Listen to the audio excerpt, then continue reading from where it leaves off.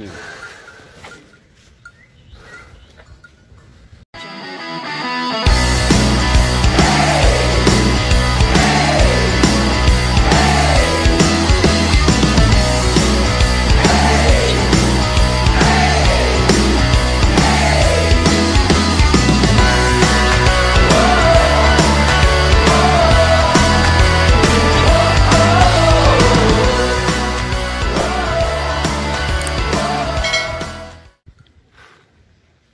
Bima Sakti. Sudah siap mengikuti event di Magelang